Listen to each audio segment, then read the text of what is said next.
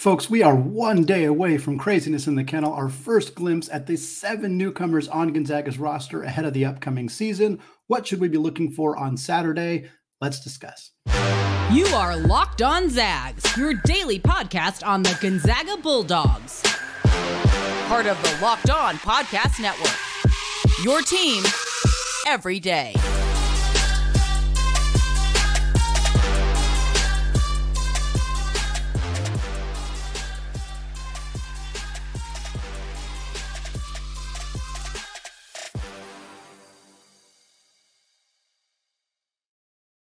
What is going on, y'all? Welcome to the Locked On Zags podcast, part of the Locked On Podcast Network, your team every day. I'm your host and longtime Gonzaga podcaster, Andy Patton, here to bring you news and updates on all things Zag athletics.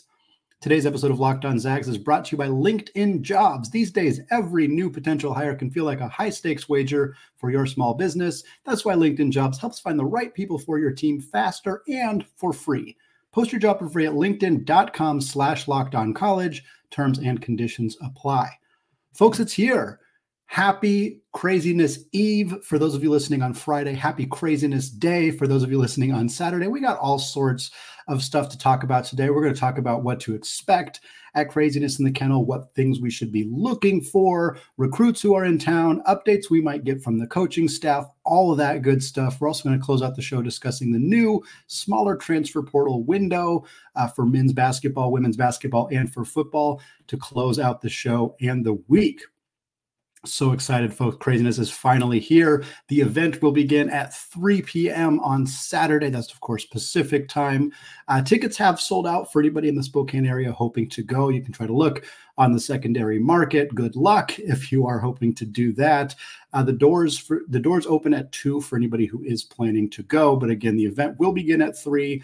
For those in the Spokane area, you will be able to watch the game on SWX for those outside the Spokane area, the game will be on ESPN Plus. So make sure you have that subscription, not just regular ESPN. You do have to have a specific subscription for ESPN Plus. But for people who are college basketball junkies, ESPN Plus is absolutely awesome. You get tons and tons of different games all year long. Uh, so that's where the game's going to be—the televised. Uh, it's also going to be on the local Spokane radio stations as well. So, what is Kraziness? And what is Kraziness going to be this year? Most of you who are listening to this podcast have probably been Gonzaga fans for a, a, lengthy period of time. You probably know a little bit about Kraziness in the kennel, but effectively, Kraziness is the first public practice of the year. Most college basketball programs have something like this. They usually have varying names for it. I think Duke's is Countdown to Craziness, so it's fairly similar to Gonzaga's, but it's it's basically the first public practice, the first time fans are in the arena, the first real look that players get, or excuse me, that fans get at new players, at you know guys in new positions. The first look at just the team for that season. For Gonzaga, the way they've typically done this is they have some kind of featured games or or events or competitions and then they have the scrimmage. The blue white scrimmage is generally what people are, are coming to watch. It's usually 20 minutes long. Uh, it's not you know it's not a full game. It's not a, a practice either. Mark few's not stopping the game to to correct guys to move guys around to to teach the way that he does it at actual practices. Uh, it's it's just a scrimmage effectively for the fans to watch. And then again, before that, we'll have a three point shootout tends to be one of the competitions that you see. Uh, they've done dunk contests in the past. They've done skills challenges in the past with like passing drills, shooting drills, various things like that. Kind of like that. Think think NBA All Star Weekend. Those kind of events. Uh, but you know, in a much smaller scale, uh, with a just one team, and you know, it doesn't take very long. The whole event's probably only going to be hour, maybe hour and a half long. Uh, so it'll be kind of quick. A few events, a, a scrimmage, some quotes from Mark Few, and we will be out the door. Also, Nik Khamenia will be in the house. Nik Khamenia was there last year as well. He is a four star prospect in the class of 2025. He came last year on an unofficial visit. We talked about it briefly on the show. Uh, he was AAU teammates with Colby Brooks. Uh, he had some familiarity with the program at the time. He was, you know, a freshman in high school. Now he's ascended up to the four-star prospect status. Uh, he's a fairly well-regarded uh, kid in the class of 2025 from Harvard Westlake High School, the same high school as Trent Perry, who we spoke about to lead off Thursday's episode of Locked On Zags. And this is Khamenia's only official visit on the books at this point. I think it's a, a, pretty safe bet that Gonzaga is the heavy front runner at this point. The things can change. We're talking about a 2025 prospect, so there's still a lot of time to go, but he will probably be mentioned on the broadcast. He will probably be shown in the crowd if you're trying to wonder who that is. It's likely Nik Khamenia, and he's a potential future Zag and somebody who who could be a pretty impactful player in this program. Now, getting into some of the other details. In the second segment, we are going to talk about each player on Gonzaga's roster and things we're going to be looking for and things we're going to be maybe expecting or not expecting. But I want to say this at the top. I wouldn't take a whole lot from this event particularly seriously, in part because Mark Few repeatedly says to not take things from this event super seriously. And I think that that's important. There are things we will look for, and there are things that we should take seriously. But for the most part, overreacting to performances in this scrimmage is probably not going to be all that productive. But that that said, you know what roles guys play and things like that are going to be things we're watching for, things we're looking for. And again, we'll talk about that more in the second segment. But if Anton Watson shoots uh, two of two from three, I don't think that means that he's going to be a 40% three point shooter next year. If he shoots 0 of 5, that doesn't necessarily mean we should be panicking about that. It's similar to how we don't take one game sample sizes and extrapolate them over uh, a full season and, and have panic over that because that's just not it's not fruitful it's not helpful. And with a scrimmage like this again mark few is is letting the guys play for the fans. It is an event for the fans. And and he will say that so many times on saturday. That's what he typically does. And i think that it's important to acknowledge that. Doesn't mean we can't learn anything. Doesn't mean we shouldn't pay attention to certain things for those of us who who like to kind of pay attention to those details and try to glean what we can from this event. But i would say on the whole think of it as more of an exhibition for the people in the arena and the people watching on TV and not as much a practice for Mark Few to really, you know, he's he's not necessarily putting out every little secret about the team in this scrimmage because why would he quite honestly.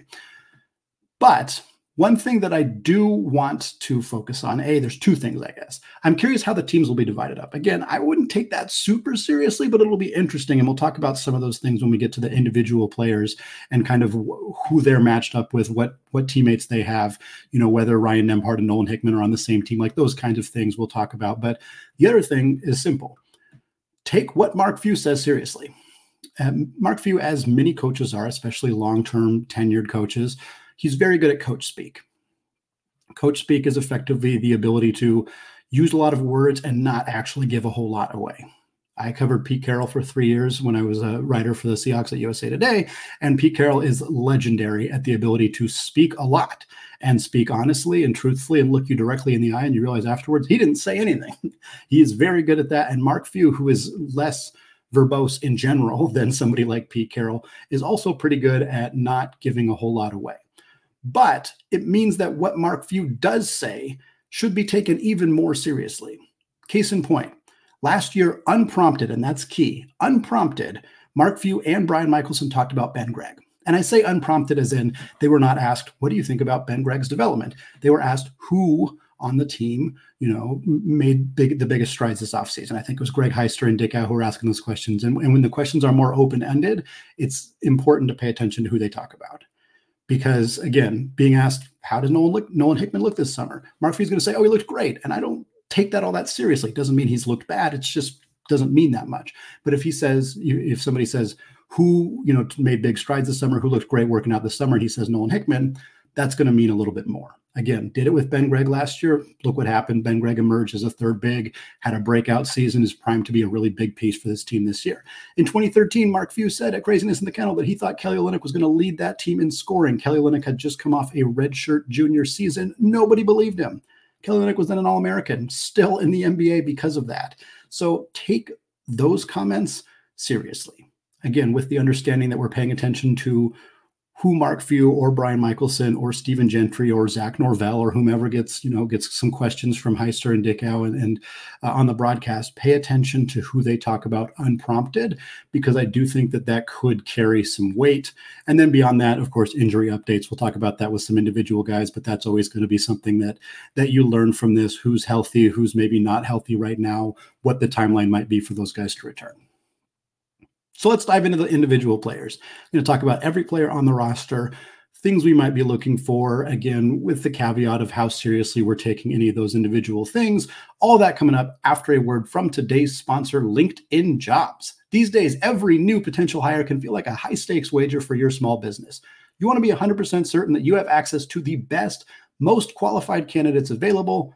And that's why you have to check out LinkedIn Jobs because LinkedIn Jobs helps find the right people for your team faster and for free.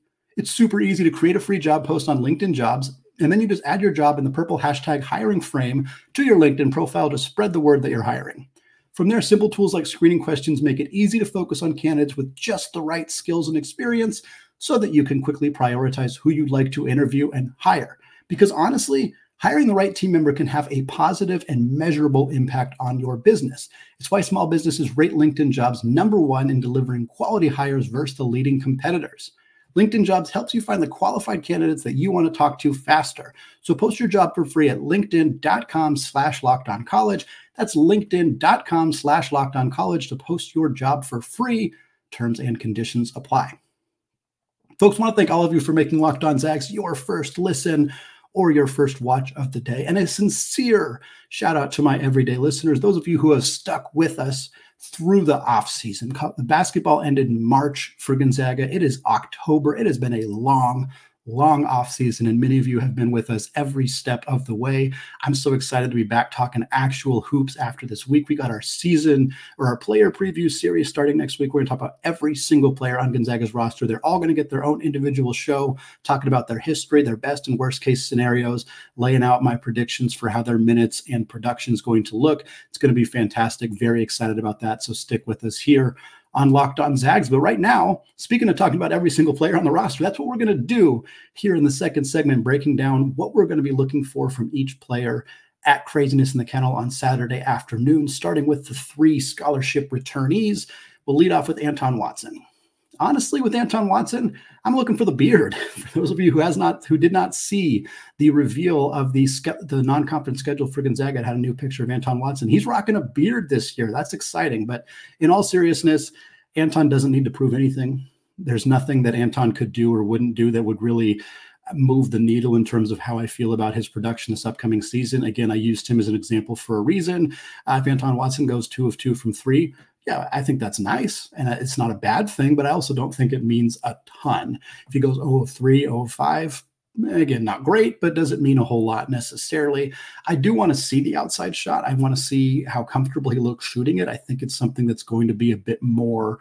Uh, a bigger element of his game this year. I think it's important for Gonzaga to have him be able to space the floor. And, and we saw him improve to 33% last year. Still not great, but better than he's been in the past. That said, not necessarily paying attention to his percentages, more as his willingness to take those shots in this scrimmage game.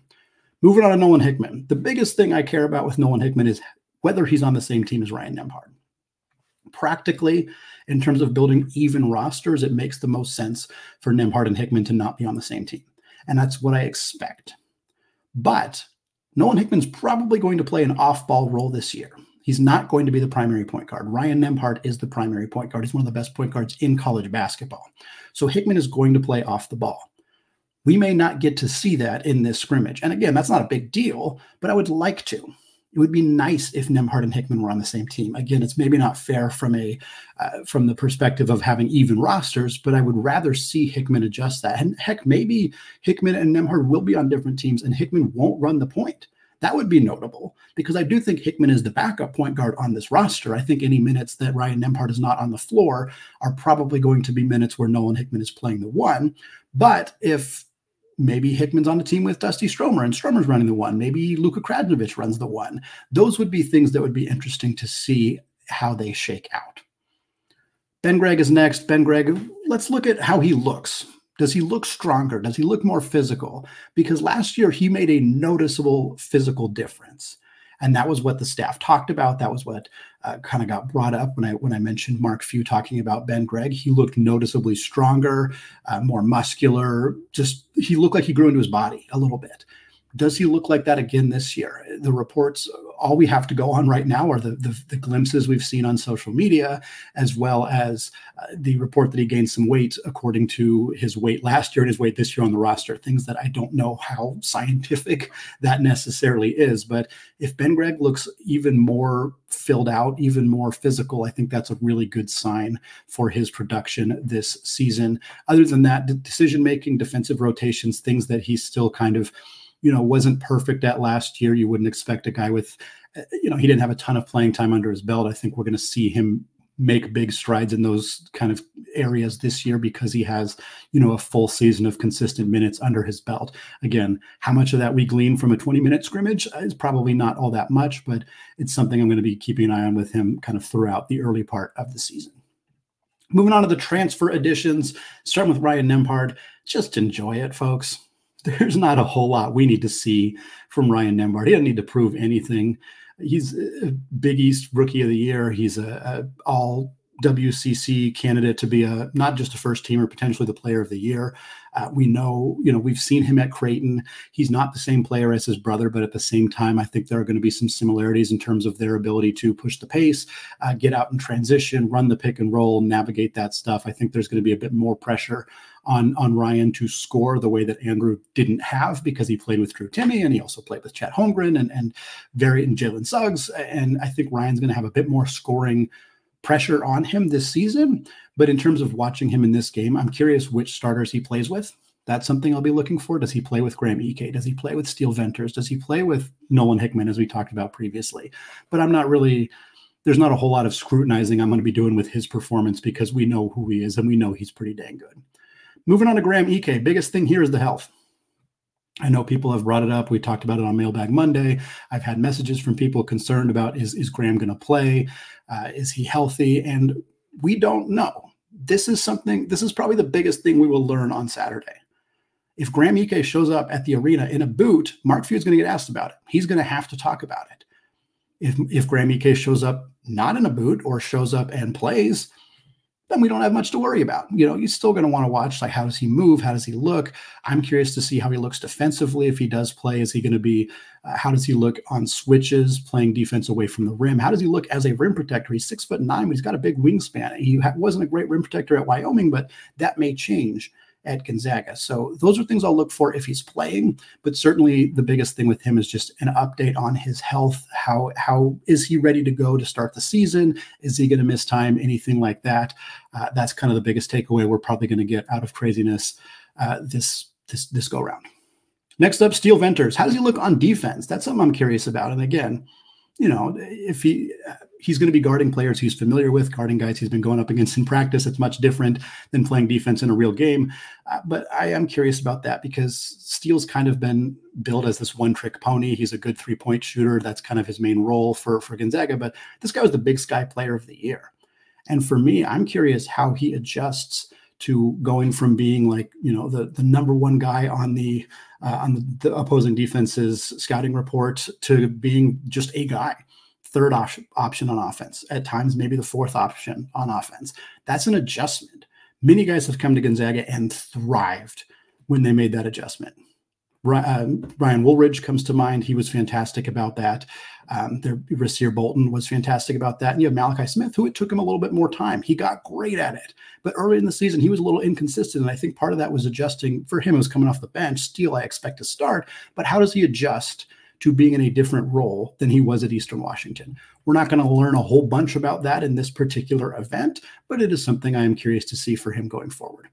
Moving on to the freshmen and the newcomers, Jun-Seok Yeo, again, not a freshman, but a newcomer to the in terms of getting to play this year uh, and a first timer at Kraziness in the Kennel. We're looking for everything, everything. I just want to watch Jun-Seok Yeo play basketball.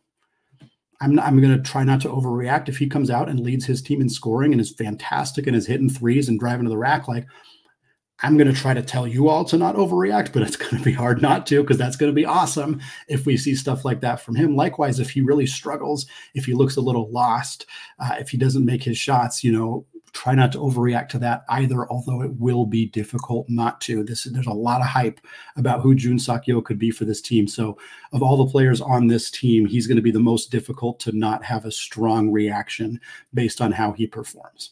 Dusty Stromer, I'm curious what role he plays, and it'll depend on what team he's on. And again, the caveat will be that he's, you know, if he's playing point guard or playing the two on a roster that, you know, doesn't have the full picture of Gonzaga's team because half of them are on the other side. That is hard to know what exactly that means. But I am curious: Are they going to use him as a ball handler? Is he going to play primarily the wing? Is he going to look more like Steele Venters or Julian Strother? Is he going to look more like you know Hunter Sallis last year, where he kind of played the point coming into the games? Like that's the biggest thing I'm looking for with Stromer. Uh, does he run pick and rolls? Does he attack the basket? Does he look more like a spot up shooter? Uh, and then defensively, just how do his instincts look? How comfortable does he look on the defensive end of the floor? Freshmen tend to be bad at defense, no matter how well they're built. Gonzaga has been spoiled by the fact that three of their recent freshmen have been Jalen Suggs and Chet Holmgren and Hunter Sallis. So those guys were all very good right away defensively. But I think expecting big things from freshmen on the defensive end of the floor is a bit risky. Um, but that said, I am curious how Dusty looks, at least in, a, in a, the glimpses we'll get in this performance. Next up, Luka Krajnovic. What role does he play? How many minutes does he play? Again, I don't think we can glean everything from this, but if Dusty Stromer plays twice as many minutes as Luka Krajnovic, that probably doesn't mean nothing. Likewise, if Krajnovic plays a lot more than Dusty, that probably means something too. May not mean everything, but it's it's noteworthy. With Krajnovic as well, he's only been on campus for like a month. He's only been a, a Gonzaga commit for a month. How familiar is he with the offense? He's probably not there yet. If he looks really comfortable, that may mean something. If he looks completely lost, I wouldn't panic about that, but it because it's not that surprising considering how recently he's been here. But I think the hope of him being a, key rotation piece would probably dampen a little bit if he looked uncom- uncomfortable or unfamiliar with the offense. So that'll be what we're looking for there. Braden Huff, next guy up here, does he what role does he play in the front court? If they run a high low offense, is he playing the high man? Is he playing the low man? Again, it'll depend on his teammates, but that's something I'm curious about because he's a guy who is 6'10. He's one of the biggest players on the roster, but he was also built as an outside shooter coming out of high school. Can he be a stretch four, stretch five, or is he going to be playing back to the basket, posting up, looking for touches down on the block? And then defensively, same thing. How does he look in space?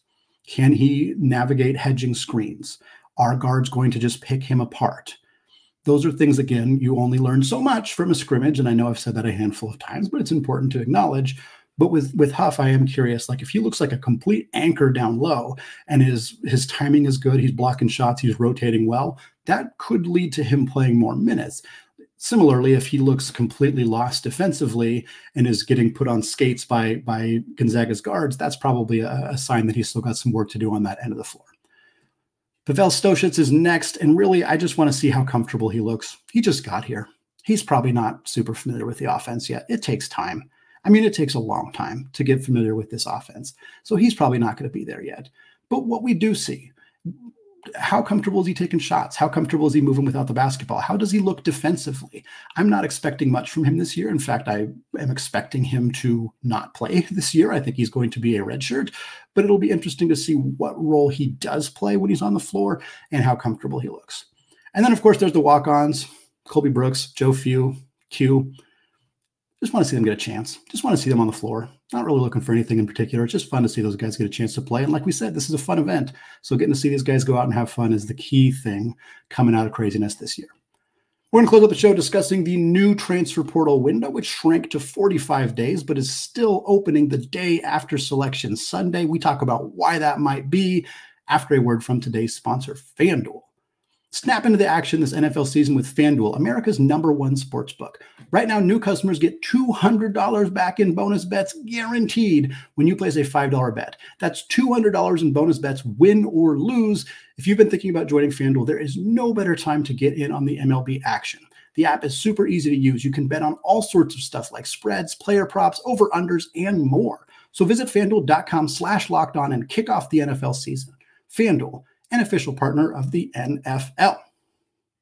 All right, folks, closing out the show and the week and the final episode before we got some real Gonzaga basketball to play at Kraziness in the Kennel. We're talking about the NCAA, the Division One Council. They met in Indianapolis and discussed a handful of rule changes, most notably shrinking the transfer portal window. And the window was put into place just last year. It was a first time thing. And now they have decided to lower the amount of days that players are eligible to enter the transfer portal. Players do not need to have committed to a new school by the time that this window closes, but they need to have put their name in the portal. Last year was 60 days. This year it's 45. And there was a big push from NCAA, from men's basketball coaches, men's and women's basketball coaches, and, and people in the industry to bring this down to 30. That was the big push. This should be 30 days instead of 60 days. However, the players pushed for 45, understandably. They want more time to make those decisions. And the NCAA sided with the players. I'm fine with 45 days. 60 was probably too long. 45 is a compromise. It's it's fine. I don't think that this is a a bad decision. I don't think it was debt. we desperately needed 30. I know some people feel very strongly about that. I don't think it's a huge deal. I do wish that it wasn't still the day after selection Sunday when this rule went into effect. For football, there's two windows, and there so it's a little bit different to judge. Uh, for other sports, it's it's it's different in other sports. But for men's basketball and women's basketball, again, this will go into effect the day after selection Sunday. So players will have 45 days from that date to decide if they want to enter the transfer portal. If your team goes to the Final Four or goes to the national championship, pretty much half of that time you will be still playing basketball. You won't want to be thinking about whether you're going to transfer. Your coaches don't want you thinking about that. Your family presumably doesn't want you thinking about that. Or if they do, you probably don't want your family badgering you about that. But it's hard to not be thinking about that, especially if you know there's a ticking clock. So to me, you're, you're basically punishing student athletes who are on good teams by giving them less time to make this decision. Granted, teams that go to the final four and go to the national championship are probably going to have less players transfer out. Doesn't mean they will have zero, but it is probable that they will have less. It is also probable, again, uh, this is not data that we have, although you could probably pull it. It, it, makes sense that the players who do choose to leave programs that go to the Final Four or the national championship, those players may have kind of already made their mind up ahead of time you know, I think about Dominic Harris, who again, I, I, don't know when he made the decision to leave Gonzaga, um, but it's it's possible that he had had in mind that he was going to enter the transfer portal and didn't make that decision like right after the season ended. He may have known that ahead of time. It's possible Hunter Sallis and, and Efton Reid knew that ahead of time too. Who knows? But I don't like that basically players who advance farther have this really shrinking amount of time where they get to make this decision. Is it a huge deal? Probably not. Is it going to cause a bunch of issues? Eh, probably not, but it's not great. Also, it puts more pressure on coaches who are coaching in the NCAA tournament. Again, players don't have to commit within this 45 day window. So you can enter the transfer portal on day one and wait to commit until way, way, way later if you want to, months and months later. You can leave the transfer portal on day 45 and commit on day 46. Totally up to you. Those are those are reasonable options. But when good players enter the portal, coaches who are in the NCAA tournament are going to want to contact them. If it's a player that Gonzaga wants, they're not going to be like, well, we'll just wait to contact him until after the tournament. They're going to contact them before then because they want to make sure that player knows, hey, I'm interested in you. Because if you know if said player enters, you know, a player leaves UW uh, because they don't make the tournament and Mike Hopkins gets fired. It's a hypothetical, but let's let's run with it because frankly, it's not that unrealistic. Player leaves UW, they enter the transfer portal. It's a player Gonzaga wants. They can't just wait. They have to contact him because said player might want to come to Gonzaga, but he may not think they're interested. So he may say, okay, well, I'm going to go to Texas Tech or I'm going to go to, you know, wherever, West Virginia, some team that didn't make the tournament or that's already out of the tournament because they reached out, they contacted me. Gonzaga can't let that happen. Similarly, UConn, all those other programs who might be deep in the NCAA tournament, they can't let that happen. So they got to split focus. In 2022, I was at the NCAA tournament uh, when Gonzaga played Memphis in Portland. While at that game, waiting for it to start, in the media room, I was writing an article about Fardaws Aimaq, who had entered the transfer portal out of Utah Valley. Aimaq, of course, went to Texas Tech, entered the portal again, and went to Cal. He wasn't going to come to Gonzaga because Drew Timme was still in the picture, and he didn't know if Drew Timme was going to come back or not. But I was thinking while I was there, I'm at a tournament game and I'm writing about a player in the transfer portal. If I'm splitting focus, what is this doing to the coaching staff? I don't think Mark Few was in the huddle there getting ready for Memphis thinking about Fardaws Aimaq, but somebody in his staff probably was. And I just don't like that. I don't love that that has to happen. Again, not a massive like we need to revolt against this type of thing. I think it's fine. I think it's understandable why you know teams that finish their season in early March, these players don't want to wait around for weeks and weeks and weeks before figuring out where they want to go to school next. I get that. I understand that, but there is some some challenges with the way this is currently set up. Last thing I'll say here, grad transfers eventually are going to be subject subjected to the same windows. Uh, and I think this is probably a good thing, but there are some questions about how this is going to work. Right now, grad transfers can basically enter the portal whenever. We saw it create some really weird situations this year where players were entering the transfer portal like in September. Very baffling that players were able to do that. They were all grad transfers, it was within the rules. I can see why they're changing that. What about players who graduate in the summer? We'll use the UW example. You finish your fourth year of college, you decide you're transferring away from UW, and you got one class left before you graduate. You take that class over the summer, you finish that class, now you have a degree. Are you saying you can't transfer now? That means you're basically punishing players for getting their degree. That doesn't feel right. There are some things that might need to, and I don't, I, I'm, I don't know what the rule will be on that. If you do get your degree, maybe you then get a window open after that. I don't know. I don't know how it's going to work. I also understand why if you, you know, finish a summer class in August and then enter the portal, that's kind of screwing over the team too. So there are some things about that that need to get figured out. I, I don't think that these rules are finalized. They're going to be changed, they're going to be adjusted going forward. But I think ultimately, the decision to shrink the transfer portal window, the decision to make grad transfers subjected to the same rules is probably a net good. It's just going to come with some wrinkles that are going to need to be ironed out. That's going to do it for us today, folks, here on the Locked On Zags podcast. Last episode before we got real basketball to talk about. So excited to come back with you next week. We'll do a mailbag post Kraziness edition, and then we're going to get straight into those player profiles, talking about every single team on the roster. So if you haven't yet, subscribe on YouTube. That's a great way to make sure you get access to every single show as it goes live. Uh, you can also leave a review on iTunes. You can uh, follow on Twitter if you don't do so yet. We appreciate every single one of you for jumping on the show, whether it's your first time, 10th time, 150th time listening. It is fantastic to have you here. So excited to be talking real Zag hoops soon. Thank you so much for listening. And until next time, as always, go Zags.